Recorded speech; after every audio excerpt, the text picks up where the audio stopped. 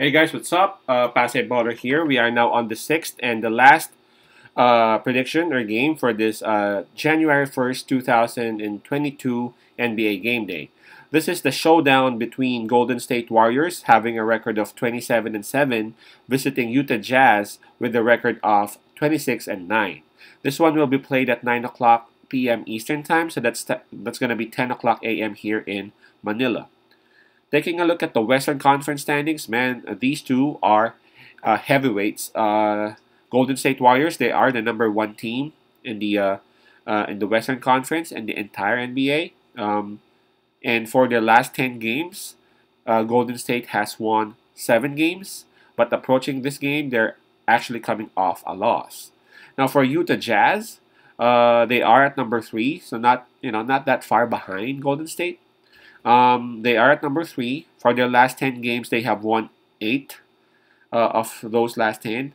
And approaching this game, man, are they hot or not? Um, Utah Jazz is riding this six-game winning streak. All right, so Utah Jazz, uh, they will be enjoying their home court advantage. That's one. Um, fatigue factor, um, we got to give it to Golden State Warriors because um, Utah Jazz already played last night against uh, Minnesota Timberwolves while Golden State rested up. Um, for momentum, though, we got to give it to Utah Jazz with that six game winning streak. So two points already for Utah, and Golden State would have one. Now let's take a look at the injury lists for both teams.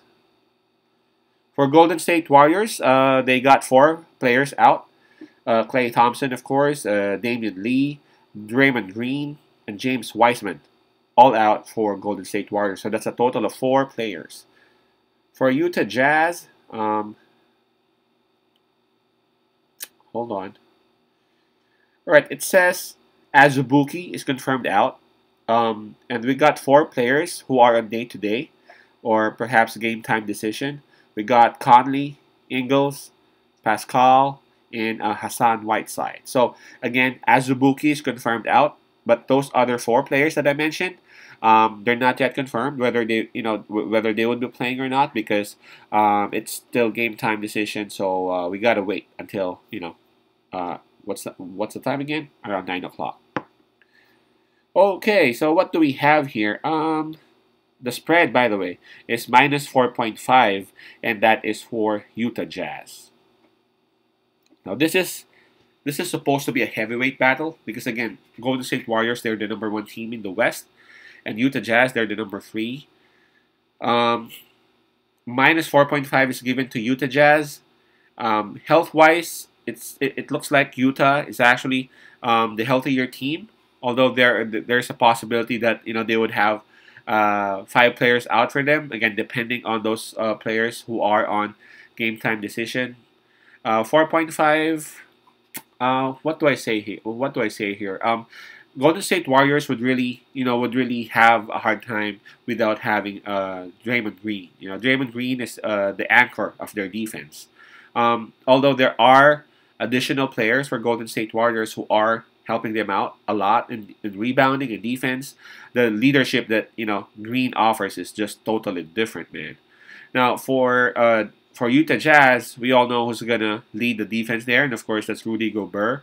Um, but I, I don't know about y'all, but I, I don't know if you noticed, but uh, go, um, Stephen Curry along with his boys um, in situations like this, you know, when going up against uh, a heavyweight um, they just play totally different. I mean, totally different, man. It's like uh, they're you know they're stepping on the gas um, real hard. Um, so I'm not saying Utah Jazz would actually. Uh, I mean, Utah Jazz would lose this game, but um, the 4.5 spread I think is just too big for. Uh, the number one team in the NBA right now, Golden State Warriors. I'm pretty sure that uh, Stephen Curry would have a thing or two uh, before you know before giving up on this. Um, and at the same time, I'm thinking, yes, uh, some of the players of Utah Jazz are actually playing or are actually available, but um, they ain't 100%. Donovan Mitchell is one of them. Donovan Mitchell is, uh, for me, their best player.